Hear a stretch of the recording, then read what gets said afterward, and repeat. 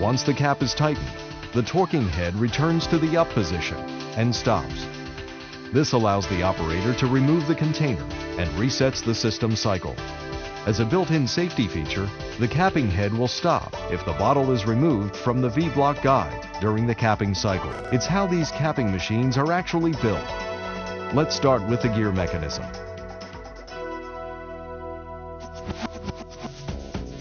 The mechanism is composed of a cast iron base with the internal mechanism enclosed in an aluminum housing to save on weight. The heavy-duty gear mechanism operates in an oil bath environment, increasing efficiency and decreasing gear noise. Consequently, the load placed on the motor is minimized. The spindle shaft rotates at approximately nine times the rate of the speed at which it reciprocates up and down.